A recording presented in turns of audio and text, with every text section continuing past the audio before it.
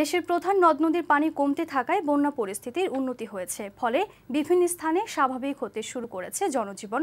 তবে গাইবান্ধায় এখনও ডুবে আছে একশো পঁয়ষট্টিটি চরাঞ্চল ও নদী তীরবর্তী নিচু এলাকাগুলো। আশ্রয়কেন্দ্র ও উঁচু জায়গায় আশ্রয় নেওয়া মানুষগুলো নিজ নিজ বসত বাড়িতে ফিরতে শুরু করেছে। এসব এলাকায় পানিবাহিত রোগ, বিশুদ্ধ পানি ও খাবার সংকট দেখা দিয়েছে। বন্যা পরবর্তী সময়ে পানিবাহিত রোগ মোকাবেলায় কাজ করছে স্বাস্থ্য বিভাগের মেডিকেল টিম। লালমনিরহাট ও কুড়িগ্রামে বন্যা পরিস্থিতির উন্নতি হয়েছে। প্রধান নদ নদীগুলোর পানি কমে যাওয়ায় মানুষজন ঘরে ফিরতে শুরু করেছে। বানভাসী মানুষের জন্য সরকারি ও বিভিন্ন সংগঠনের উদ্যোগে ত্রাণ বিতরণ চলছে। এছাড়া ফরিদপুরে বন্যার পানি কমতে শুরু করায় আড়িয়ালখা, মধুমতি ও পদ্মার তীরবর্তী আলফাডাঙ্গা, বালিয়াডাঙ্গি চর ভদ্রাসুরের কিছু এলাকায় ভাঙন দেখা দিয়েছে।